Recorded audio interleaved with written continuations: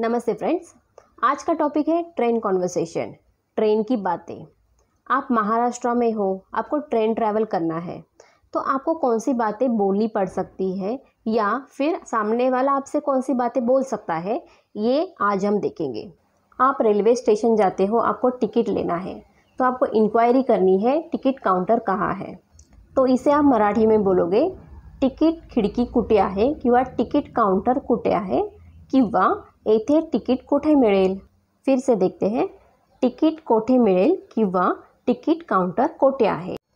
Next आपको inquiry करनी है रिजर्वेशन काउंटर कहाँ है?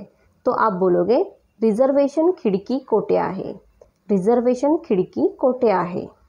अगर आपको किसी ट्रेन के बारे में इंक्वायरी करनी है, आपको पूछना है राजधानी एक्सप्रेस कौन से प्लेटफॉर्म पर आएगी?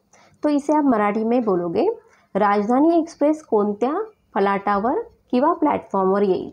राजधानी एक्सप्रेस कोणत्या प्लॅटफॉर्मवर येईल? अगर आपको पूछना है, जलद गति ट्रेन कौन से प्लेटफॉर्म पर आती है तो आप इसे मराठी में पूछोगे, जलद रेल्वे कोणत्या प्लॅटफॉर्मवर येते? जलद रेल्वे कोणत्या प्लॅटफॉर्मवर येते? कृपया कतार में आइए. इसका मराठी में अर्थ है, कृपया रांगेत या. कृपया रांगेत या. जल्दी चलो, इसका अर्थ है लवकर चला लवकर चला। नेक्स्ट है, थोड़ा बाजू हो जाओ। ज़रा बाजूला होता का? ज़रा बाजूला होता का?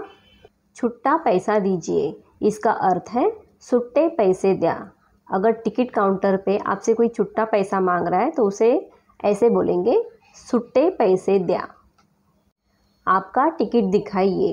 तुमचे तिकीट दाखवा। अगर टिकट चेक कराता है तो आपसे वो बोलेगा, तुमचे तिकीट दाखवा। आपको कहाँ उतरना है? इसको मराठी में बोलेंगे, तुम्ही कोठे उतरनार आहात? तुम्ही कोठे उतरनार आहात? दरवाजे पे खड़े मत होना। इसको मराठी में बोलेंगे, दरवाजात उबे राहू नका। दरवाजात उबे राहू नका।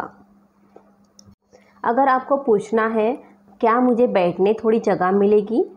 तो आप मराठी में बोलेंगे मला बसायला थोड़ी जागा मिळेल का? मला बसायला थोड़ी जागा मिळेल का?